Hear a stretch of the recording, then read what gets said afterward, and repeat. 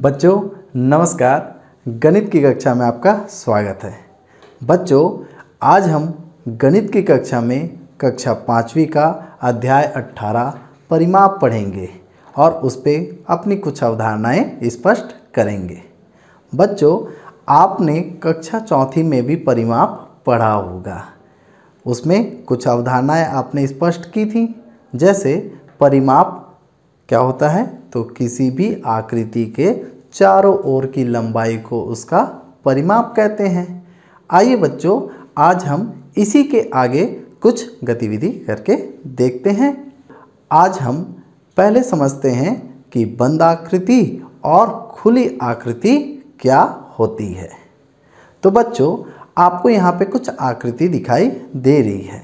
इसमें हमको पता लगाना है कि कौन सी आकृति खुली आकृति कहलाएगी और कौन सी आकृति बंद आकृति कहलाएगी? तो बच्चों, इसकी जाँच करने के लिए एक बड़ा ही सरल तरीका है।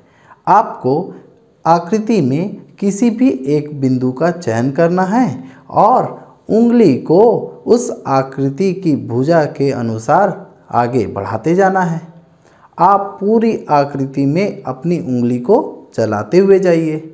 यदि आपकी उंगली अपनी प्रारंभिक अवस्था में आ जाती है, अर्थात जहाँ से आपने शुरुआत किया था, आपकी उंगली यदि वहीं आ जाती है तो वह आकृति बंद आकृति कहलाएगी और अगर नहीं आती है तो वह खुली आकृति कहलाएगी। जैसा हम पहली आकृति में करके देखते हैं। तो बच्चों, हमने प्रारंभ में देखिए ऊपर उंगली रखी। अब हम चलाते हुए जा रहे हैं। इस तरीके से। अब हम देख रहे हैं कि जब हमने अंत किया तो हमारी जो उंगली थी, वो जहाँ से हमने प्रारंभ किया, वहीं पे आ गई। तो आकृति जो पहली थी, वो कौन सी आकृति होगी बच्चों? बंद आकृति होगी। उसी प्रकार हम दूसरी आकृति में देखते हैं। तो बच्चों, हमने ऊपर में उंगली रखी और आकृति के अनुसार उंगली को चलाते हुए जा रहे हैं। अब देखो बच्चों, हमारी उंगली लास्ट में कहाँ पे आ गई बच्चों? नीचे। हम अपनी प्रारंभिक बिंदु पे पहुँच नहीं पाए। तो यह आकृति क्या कहलाएगी बच्चों? खुली आकृति कहलाएगी। इसी प्रकार बच्चों, और भी कुछ आकृतियाँ आपको दिखाई दे रही हैं। ये आपके पाठ्य पुस्तक में दिया गया है। आप उंगली रख रख के देखिए कि कौन सी आकृति खुली आकृति है और कौन सी आकृति बंद आकृति है। बच्चों, इसमें आप उंगली के स्थान पे पेंसिल रख के भी आप देख सकते हैं कि आप उस पर पेंसिल चला के भी देख लीजिए। वह, अगर अपनी प्रारंभिक अवस्था में आ गई तो बंद आकृति और अगर नहीं आ पाई तो खुली आकृति। आप करके देखिए बच्चों, आपको पाठ्य पुस्तक में बहुत सारे चित्र दिए गए हैं। अब बच्चों, हम देखते हैं कि ये जो बंद आकृति और खुली आकृति हमने समझा, यह परिमाप में क्या काम आती है। तो बच्चों, आप ये ध्यान रखिएगा कि हम सिर्फ़ बंद आकृति का ही परिमाप ज्ञात कर सकते हैं। हम खुली आकृति का परिमाप ज्ञात नहीं कर सकते। इसीलिए हमने ये जाना कि कौन आकृति खुली है और कौन आकृति बंद। तो अब हम बच्चों जो भी गतिविधि करेंगे, उसमें हम कौन सी आकृति का उपयोग करेंगे? बंद आकृति का। तो आइए बच्चों, हम समझते हैं अब परिमाप को। तो बच्चों, हमने परिमाप की परिभाषा चौथी क्लास में भी देखी थी। आइए अब इसमें हम एक और शब्द जोड़ दे रहे हैं, बंद आकृति। चूँकि हम सिर्फ़ बंद आकृति का ही परिमाप ज्ञात कर सकते हैं। तो अब हम कह सकते हैं कि किसी भी बंद आकृति के चारों ओर की कुल लंबाई को परिमाप कहते हैं। यहाँ पे देखो बच्चों, नीचे आपको एक चित्र भी दिया गया है। हम अभ्यास के रूप में आइए इसका परिमाप ज्ञात करके देखते हैं। तो बच्चों, यहाँ पे आपको जो आकृति दी गई है, उसमें देखिए उसकी लंबाई दी गई है। जैसे ऊपर की लंबाई चार सेंटीमीटर, उसके बाजू की लंबाई दो सेंटीमीटर, नीचे की लंबाई चार सेंटीमीटर और उसके बाजू की लंबाई दो सेंटीमीटर। बच्चों आपने एक बात ध्यान दिया होगा कि यहाँ पे सेमी लिखा है, परंतु मैं क्या पढ़ रहा हूँ बच्चों? सेंटीमीटर क्योंकि हमें छोटे रूप में लिखने के लिए हम सेंटीमीटर को ही सेमी लिख देते हैं। परंतु हमें पढ़ते समय उसे सेंटीमीटर ही पढ़ना है। तो अब बच्चों, हमें इस आकृति का क्या निकालना है? परिमाप। तो देखिए, हमने परिभाषा में ही बोला था कि उसकी चारों तरफ़ की लंबाई का योग। तो देखिए बच्चों, हमने परिमाप में उसकी चारों भुजा की लंबाई को जोड़ दिया। चार सेंटीमीटर, धन दो सेंटीमीटर, धन चार सेंटीमीटर, धन दो सेंटीमीटर। तो सभी को जोड़ देंगे तो कितना आएगा बच्चों? बारह सेंटीमीटर। तो हम कह सकते हैं कि जो आकृति यहाँ दी गई है, उसका परिमाप 12 सेंटीमीटर है।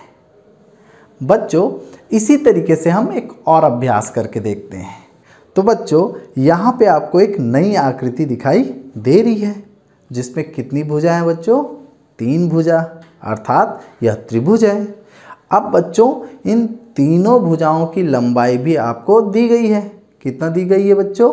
तीन सेंटीमीटर तीन सेंटीमीटर और तीन सेंटीमीटर। तो बच्चों, हमने पढ़ा था कि ऐसा त्रिभुज जिसके तीनों भुजाओं की लंबाई एक समान हो, उसे हम क्या कहते हैं बच्चों? समबाहु त्रिभुज।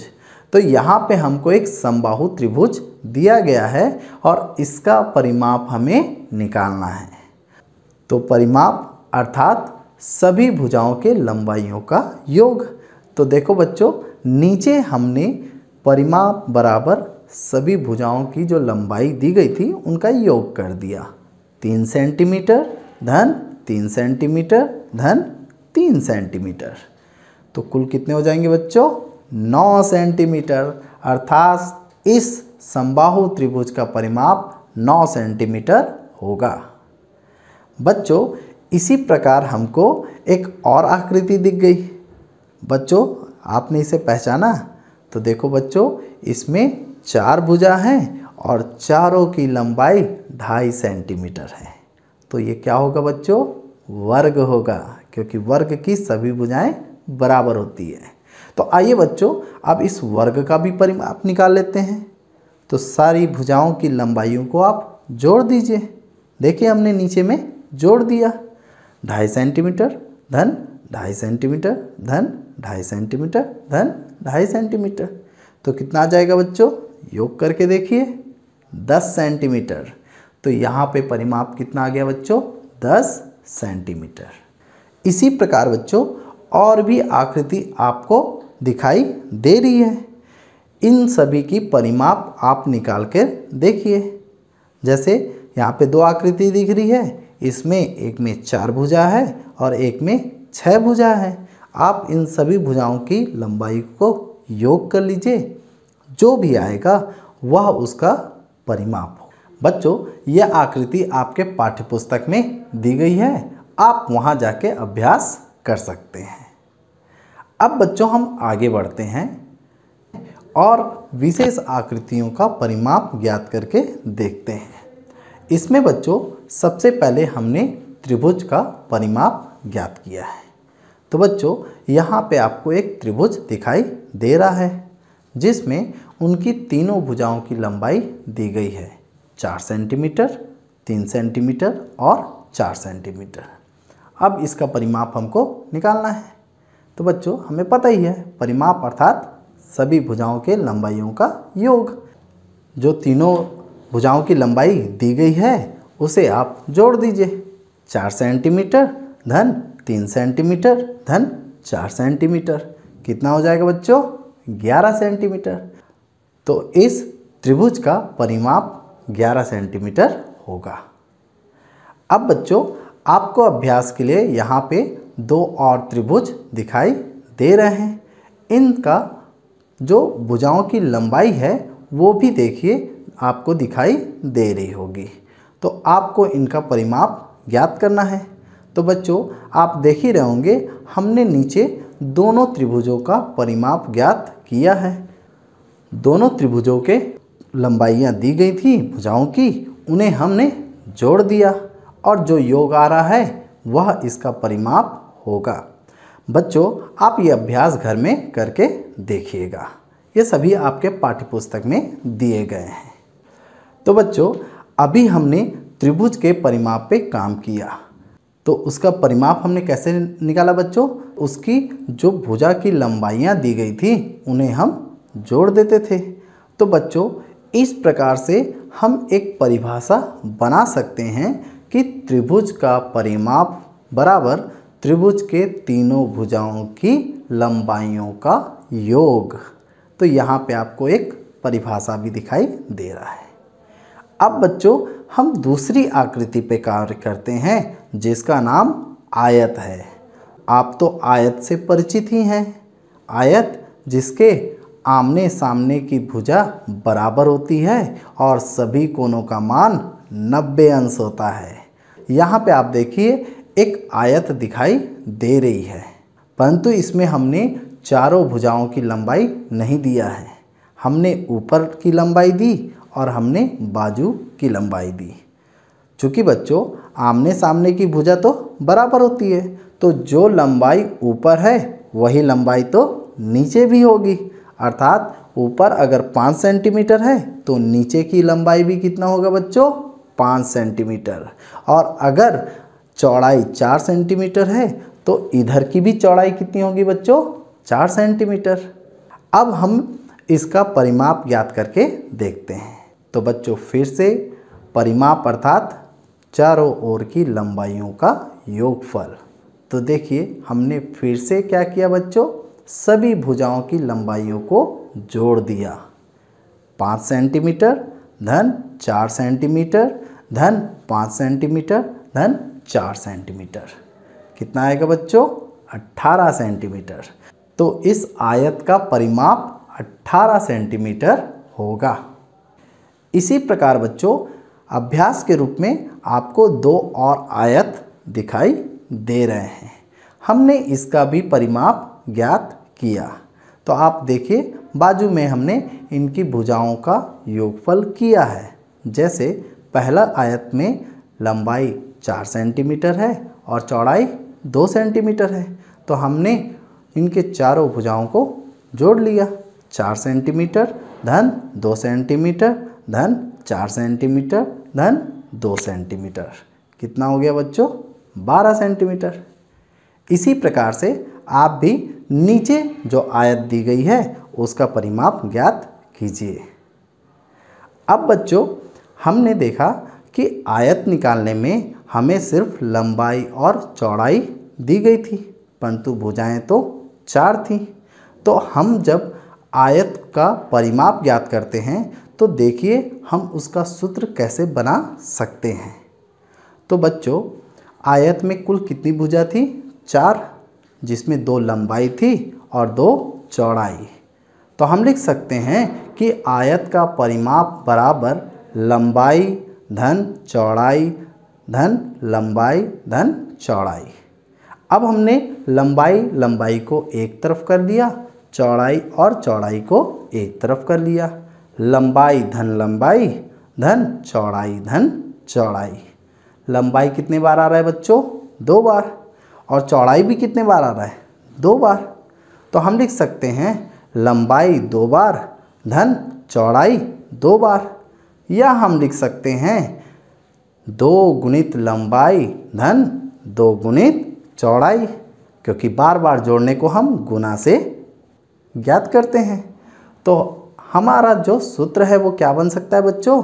कि आयत का परिमाप बराबर दो गुणित लंबाई, धन दो गुणित चौड़ाई। अब आइए बच्चों, अगले आकृति में इसका नाम है वर्ग। वर्ग तो आपको पता ही बच्चों, चारों भुजाएँ जिसकी बराबर हो और कोण नब्बे अंश का हो। तो अब बच्चों, हम वर्ग का परिमाप ज्ञात करेंगे। तो आपको एक वर्ग दिखाई दे रहा है, जिसकी भुजा चार सेंटीमीटर है। तो बच्चों, आपको ऊपर की लंबाई दी गई है, बाकी की लंबाई दी नहीं गई है। परंतु सभी भुजाओं की लंबाई तो एक समान है। अर्थात सभी का मान कितना होगा बच्चों? चार सेंटीमीटर। तो वर्ग का परिमाप बराबर होगा। अब सब भुजाओं की लंबाई को आप जोड़ दीजिए। चार सेंटीमीटर धन चार सेंटीमीटर, धन चार सेंटीमीटर, धन चार सेंटीमीटर। कितने हो जाएँगे बच्चों? सोलह सेंटीमीटर। तो दिए गए वर्ग का परिमाप कितना होगा बच्चों? सोलह सेंटीमीटर। बच्चों, इसी प्रकार कुछ वर्ग आपके पुस्तक में दिए गए हैं, आप उसका अभ्यास कीजिएगा। अब हम इसका भी सूत्र बना के देखते हैं। तो बच्चों, वर्ग का परिमाप बराबर अब सभी भुजा की लंबाइयों को हम जोड़ रहे हैं तो भुजा, धन भुजा धन भुजा धन, भुजा। बच्चों, भुजा कितनी बार आ रहा है? चार बार। तो हम बोल सकते हैं कि भुजा का चार बार योग। और बार बार जोड़ना क्या होता है बच्चों? गुना। तो हम बोल सकते हैं चार गुणित भुजा। तो अब हमारा एक सूत्र तैयार हो गया बच्चों, कि वर्ग का परिमाप बराबर चार गुणित भुजा। अब भुजा का मान रख के हम बड़े आसानी से वर्ग का परिमाप ज्ञात कर सकते हैं। अब बच्चों, हम कुछ इबारती प्रश्न को हल करके देखते हैं, जो आपके पाठ्य पुस्तक में दी गई है। तो उसमें से हमने पहला प्रश्न लिया है। जैसे, एक आयताकार मैदान की लंबाई 200 मीटर है और चौड़ाई 150 मीटर है तो बताओ मैदान का एक चक्कर लगाने में राजू को कितने मीटर दौड़ना पड़ेगा? अब राजू, उस आयताकार मैदान के चारों ओर दौड़ रहा है बच्चों। अर्थात वह उस आयताकार मैदान के परिमाप पे दौड़ रहा है। तो जो आयताकार मैदान का परिमाप होगा, उतना ही राजू को दौड़ना पड़ेगा। तो हम इस आयताकार मैदान का क्या निकाल लेते हैं बच्चों? परिमाप। अब हमें पता ही है बच्चों कि आयत का परिमाप बराबर दो गुणित लंबाई, धन दो गुणित चौड़ाई। इस आयताकार मैदान की लंबाई कितनी थी बच्चों? 200 मीटर। और चौड़ाई कितनी थी बच्चों? 150 मीटर। 150 मीटर अर्थात 150 मीटर। तो हमने इनके मान को इस सूत्र में रख दिया। तो कितना आएगा बच्चों? दो गुणित 200 मीटर। धन, दो गुणित 150 मीटर। 200 का दो में गुना करेंगे तो कितना आएगा बच्चों? 400 और 150 का दो में गुना करेंगे तो आएगा 300 तो 400 मीटर, धन 300 मीटर। कितने हो जाएँगे बच्चों? 700 मीटर। अर्थात राजू को उस आयताकार मैदान का एक चक्कर लगाने के लिए 700 मीटर दौड़ना पड़ेगा। इसी प्रकार बच्चों, और भी इबारती प्रश्न आपके पाठ्यपुस्तक में दिए गए हैं। आप उन्हें इसी प्रकार से हल करके देखिए। अब बच्चों, हम जो सूत्र बनाए थे, आयत का और वर्ग का, अब हम देखते हैं कि उस सूत्र की मदद से कैसे आसानी से हम त्रिभुज का आयत का या वर्ग का परिमाप निकाल सकते हैं। तो अभ्यास के लिए हम सबसे पहले लेते हैं त्रिभुज। तो बच्चों, हमने सूत्र बनाया था कि त्रिभुज का परिमाप बराबर त्रिभुज के तीनों भुजाओं का योग। तो यहाँ पे देखिए बच्चों, आपको अभ्यास में त्रिभुज के तीनों भुजाओं की लंबाई दी गई है। तो आप उसका परिमाप ज्ञात करके देखिए। तो उदाहरण के लिए हम पहला जो प्रश्न है, उसको हल करके देखते हैं। तो बच्चों, पहले प्रश्न में आप देखिए कि त्रिभुज का जो पहले प्रश्न में आप देखिए कि त्रिभुज के भुजाओं की लंबाई दी गई है। कितनी दी गई है बच्चों? छः सेंटीमीटर, आठ सेंटीमीटर और दस सेंटीमीटर। अब सूत्र क्या है बच्चों? त्रिभुज का परिमाप बराबर तीनों भुजाओं की लंबाई। तो आप इन तीनों को जोड़ दीजिए बच्चों। छः सेंटीमीटर, धन आठ सेंटीमीटर, धन दस सेंटीमीटर। तो कितना हो जाएगा बच्चों? चौबीस सेंटीमीटर। तो त्रिभुज का परिमाप चौबीस सेंटीमीटर होगा। इसी प्रकार नीचे जो दो प्रश्न आपको और दिख रहे हैं, आप उन्हें भी हल करके देखिए। इसी प्रकार हम लोग बच्चों ज्ञात करते हैं आयत का परिमाप। तो आयत का परिमाप कितना होता है बच्चों? दो गुणित लंबाई, धन दो गुणित चौड़ाई। यहाँ देखिए, अभ्यास में आपको लंबाई और चौड़ाई दी गई है। आप उस सूत्र में लंबाई और चौड़ाई का मान रखिए, आपको परिमाप ज्ञात हो जाएगा। इसी प्रकार वर्ग का भी हमने क्या किया था बच्चों? सूत्र निकाला था। वर्ग का परिमाप बराबर चार गुणित भुजा। तो ये देखिए, अभ्यास के रूप में बच्चों, आपको वर्ग का भुजा की लंबाई दी गई है। तो आप सूत्र में भुजा के स्थान पर उसकी लंबाई रख दीजिए। जैसे कि पहला प्रश्न, आठ मीटर भुजा का एक वर्ग है तो उसका परिमाप कितना होगा बच्चों? तो वर्ग का परिमाप बराबर चार गुणित भुजा। भुजा के स्थान पे आप रख दीजिए आठ मीटर। तो चार गुणित आठ कितना होता है बच्चों? बत्तीस। तो वर्ग का परिमाप कितना हो जाएगा बच्चों? बत्तीस मीटर। इसी प्रकार से बच्चों, और भी जो प्रश्न नीचे दिए गए हैं, आप उनको हल करके देखिए, आपको उस आकृति का परिमाप ज्ञात हो जाएगा। बच्चों, इसी प्रकार आप अभ्यास करके देखिए। अब हम मिलते हैं गणित की अगली कक्षा में। गणित की कुछ नई अवधारणाओं के साथ। तब तक के लिए नमस्कार।